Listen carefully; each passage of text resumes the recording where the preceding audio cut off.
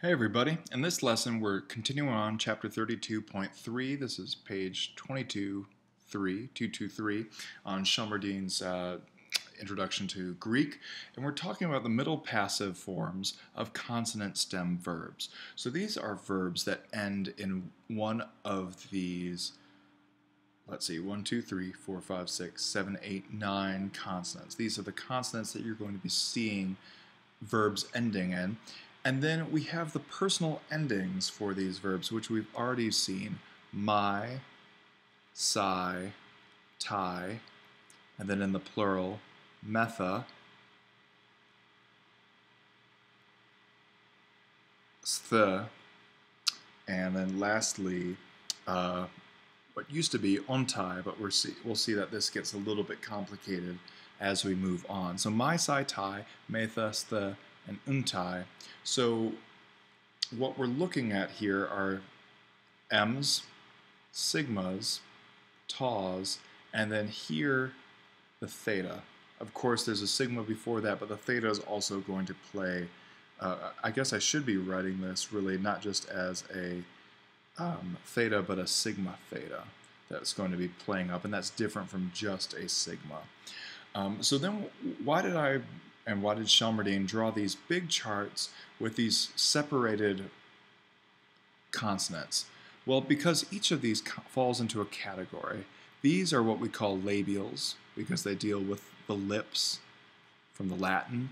These are going to be our dentals because they deal with the teeth, again from the Latin, and that's why you go to a dentist.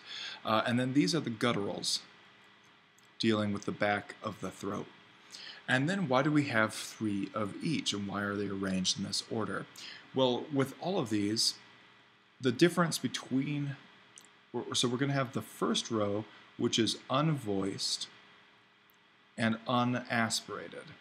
So that's, that's vanilla. It's not uh, really anything. And this is what we do with our uh, lips. We put them together. If you put them together and were to blow through them, uh, you'd get a P sound. But if you add a little bit of vocal cords in that, B, you get a combined P with voice. So these are unvoiced, unaspirated, the top, the P.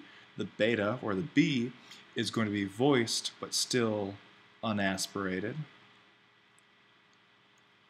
And then these bottom rows in each of the kind of uh, separate charts, I guess, um, is going to be unvoiced, at least in its kind of default form, but then aspirated.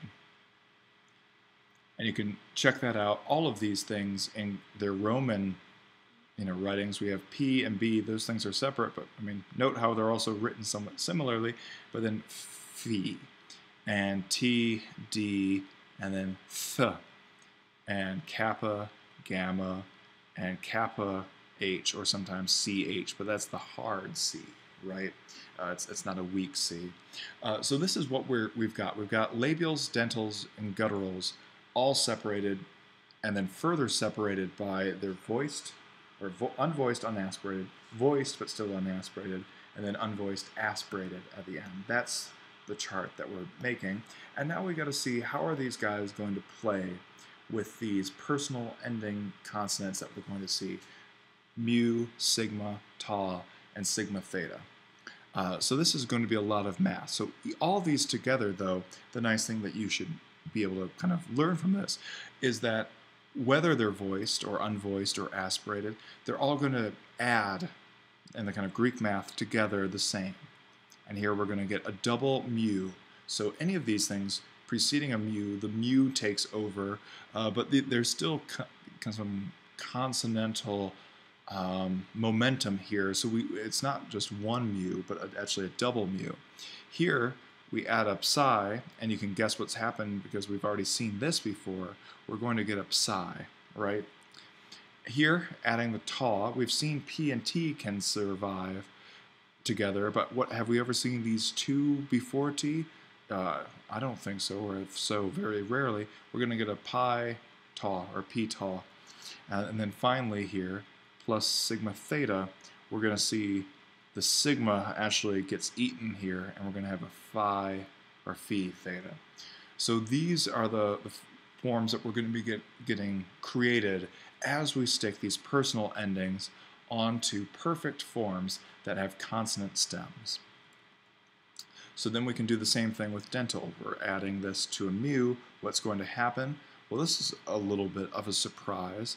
All of these dentals are going to turn into this sibilant, the S, before the M. So we're going to get sm. We didn't see that one coming, did you?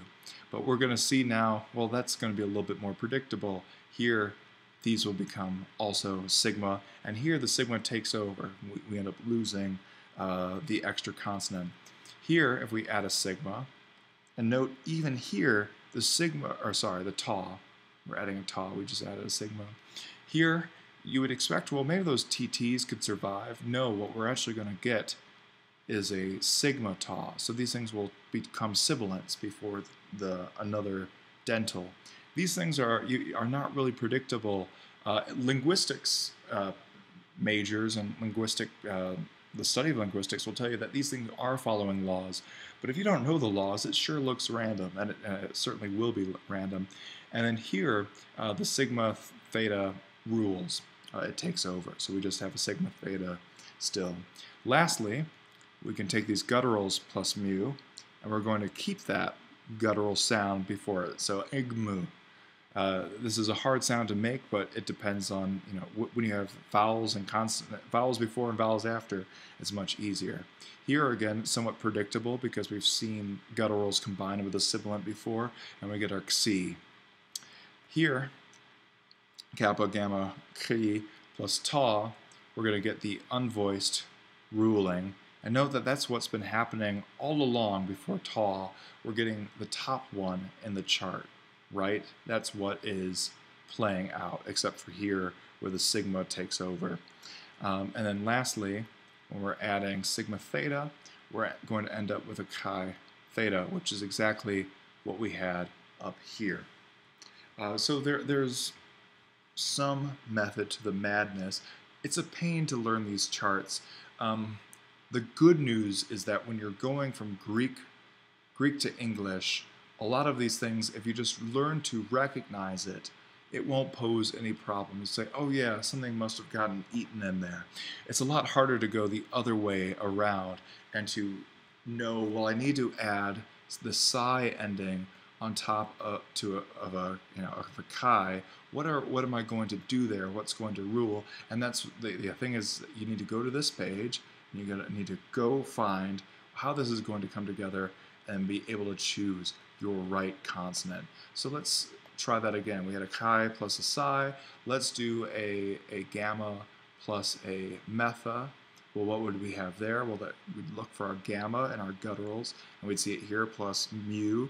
And then, okay, so it's just going to be gamma mu. That was pretty easy. Uh, if we had a, um, you know, any of these things, a tie, you know, a tau uh, plus a tie, you would think, well, it would just be easy to make that a double tau, but that's not at all what happens. You'd have to go here plus tau and see that actually be, would become sigma tau. Uh, so we would erase this and come back with our proper ending.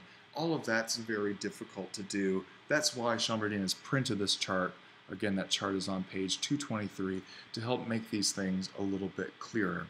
Um, one thing that Shelmerdine points out somewhat disingenuously is that these stops that we have uh, become voiced, unvoiced, or aspirated to match the following consonant. So it's, it's the thing that's added second that rules. And we've seen that, you know, that's why um, we've gone unvoiced here because the ta itself is unvoiced. Um, and they give you the example of practical versus pragmatic.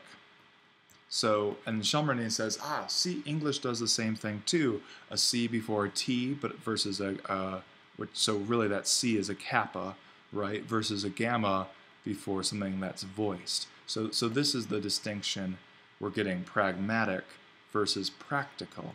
Well, that's all true, and English does do this in other situations, but these are Greek verbs, or Greek words. This is exactly where we're getting it. This chart created these formations in ancient Greek, and we've borrowed those words to make English. All right, so the last thing uh, that I'm going to start a new lesson to explain this, but note that we had mu, sigma, tau, and sigma theta, we did not capture this nu. Uh, and note here, it's not even one consonant, but a double consonant, nu, tau. And one of these constants, the, the sigma is kind of weak, and you can see from what's happening over here, the sigma is really interacting with these words or the, the kind of consonants before, and then the theta is standing on just as its own. This same thing would not be happening with umtai. And just imagine a B, you know, a BNT, a DNT. These things are hard to do in Greek, and we're going to see how Greek language deals with this, how it makes third third person plural, because that's you know, right. We're first, second, third, singular, plural endings here. How does it handle third person plural in the middle passive perfect? We'll get to that in the next lesson. See you then.